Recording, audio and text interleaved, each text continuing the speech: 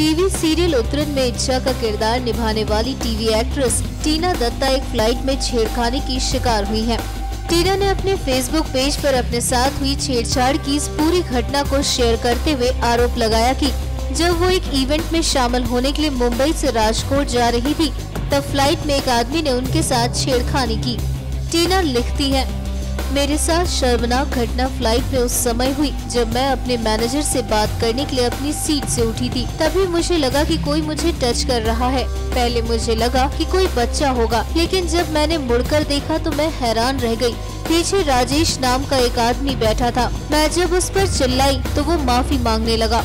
हैरानी की बात ये है कि जब मैंने एयर हॉस्टेस स्टाफ को इस बारे में बताया तो उन्होंने मेरी कोई मदद नहीं की, बल्कि वो कहने लगे कि इस तरह की घटनाएँ तो होती रहती हैं। मैं फ़्लाइट से उस शख्स को बाहर करवाना चाहती थी, लेकिन एयर हॉस्टेस स्टाफ ने कहा कि इसके लिए आपको भी फ़्लाइट से उतरना होगा। फ़्लाइट के कैप्टन ने कहा कि ये केस टेक ऑफ़ से पहले का है, इसलिए अब कुछ नहीं किया जा सकता। इसे सुनकर मुझे और भी झटका लगा।